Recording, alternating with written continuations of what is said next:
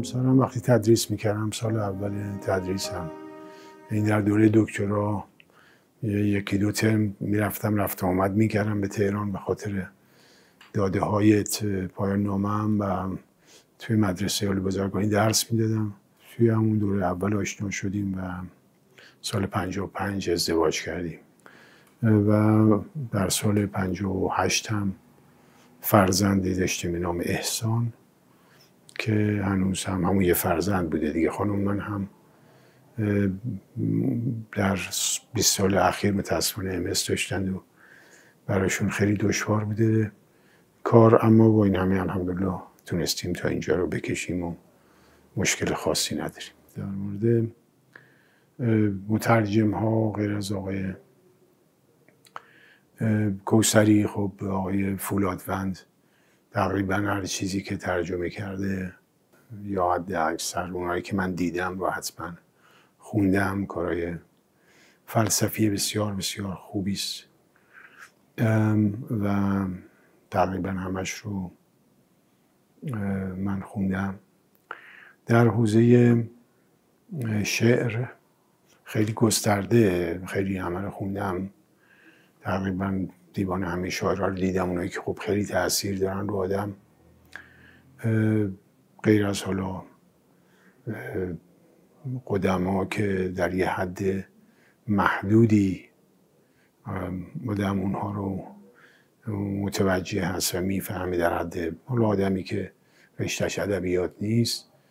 و حالا طبیعی که تلاش کرده من میشه که حافظ آدم بخونه یا سعدی رو بخونه یا مولانا رو حداقل گزیدش رو بخونه. و بعد سایر شعرها رو نگاه کردم. ولی طبعا شعر نو رو من تاثیرش خیلی بیشتر بوده آقای شفیع کتکنی تقریبا هر چیزی که چاپ کرده از شعر و حتی از کار قدما کار عرفانی خودش یا بحثایی که در حوزه ادبیات کرده تقریبا هر چیزی که ایشون کار کرده من داشتم و نگاه کردم و ممکنه که بخشایش هم متوجه نشده باشم. ولی خوندم تو شعرهای جدید فروغ رو خب خیلی علاقمندم شاملو رو خوندم فروغ خوندم. خدمت آقای سایه چند بار رسیدم و طبعا ایشون رو هم تقریبا دیگه الان همه کاراشون رو خوندم و بنابراین با شعر روز آشنا هستم تو حد زیادی متوجه هستم. و در مورد رشته خودمون خب حوزه گسترده ای از مثل مطالب مالی و اینا رو آدم دائما خب مجبوره بخونه کتابا رو بخونه. چون من در سال 1970 و مثلا هفت و اینها فارغ تحصیل شدم.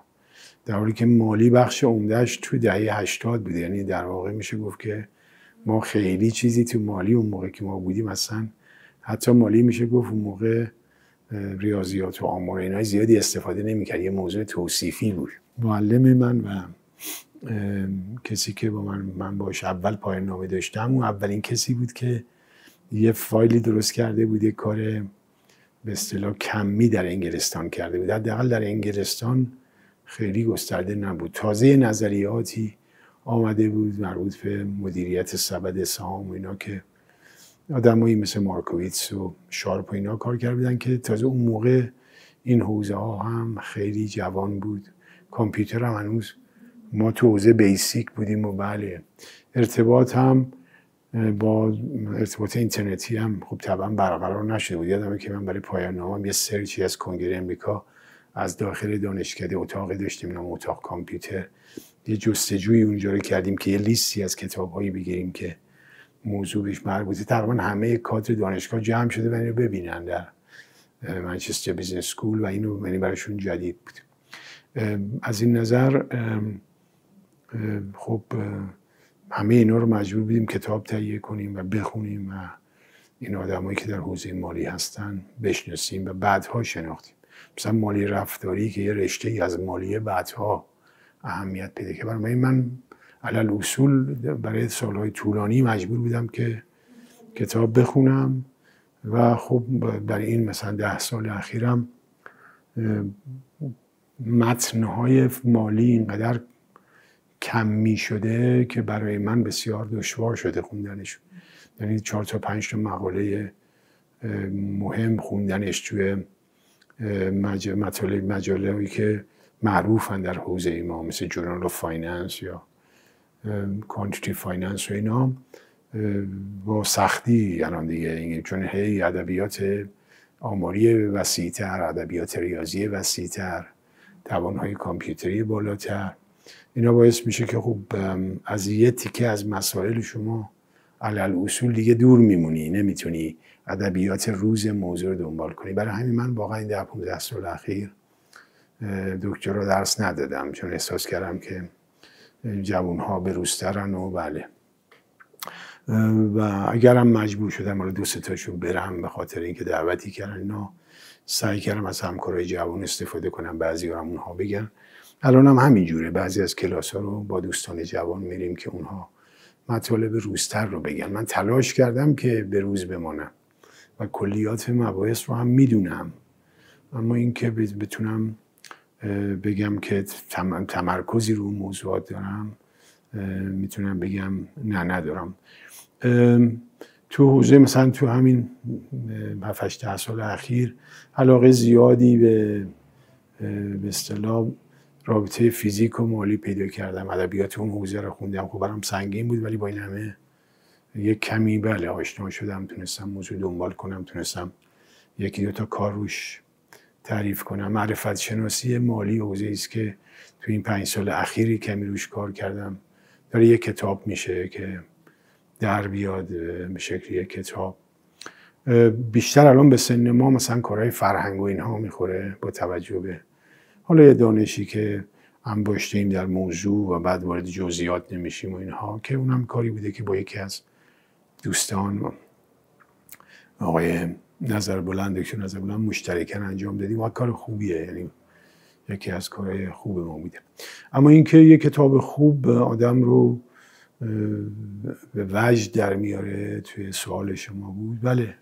هنوز هم طبیعا مقدار قابل ملاحظه هم کار وجود داره که آدم رو به وجد در میاره و آدمش استفاده می‌کنه. مثلا یکی از آدمایی که در حوزه ما کار می‌کنه آقای طالبه که یه امریکایی و لبنانی است و کارهای خیلی جدیدی در حوزه مالی کرده و اینا برای آدم بسیار پرکششه و من هر کتابشو که می‌خونم حالا این قوی سیاهش رو مثلا به زبان انگلیسی خونده بودم یه ترجمه اخیرا داده بودم که بدم نبود. اونو دوباره نگاه کردم برام جالب بود. کارهای دیگرش رو نگاه کردم در حوزه اینکه خب اینا یه کمی هم نسبت به جریان اصلی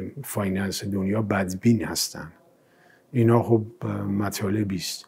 توی سالهای اخیر به اینکه فایننس تو چه حوزه هایی حق نداره به عنوان یک علم و حرفایی که یعنی ازش تجاربی ناشی شده که این تجارب به نفع رفاه عمومی نبوده. خودم مثل همین بحران 2008 مثل طمع هایی که کردن در بحران 2008 و خیلی از مردم ضعیفتر رو گرفتار کردن. نظام حقوقی بالایی که در حوزه مالی بانکدارا دارن کسانی که تو وال استریت کار می‌کنن تو بازار لندن کار می‌کنن.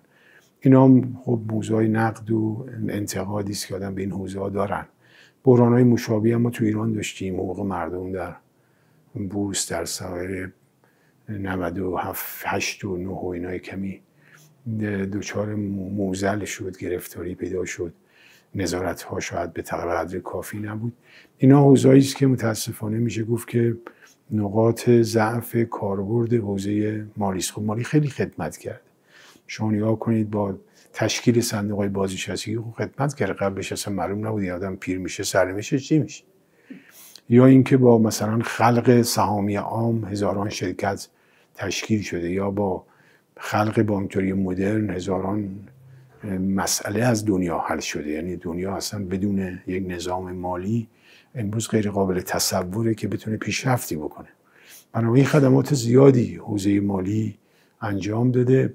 اما میشه گفت که ضعف هایی هم داره. خوندن در مورد این ضعف ها و دونستن نقاط ضعف این داستان ها که گاهی از طرف بزرگان رشته اعلام میشه بسیار پرکششه بسیار.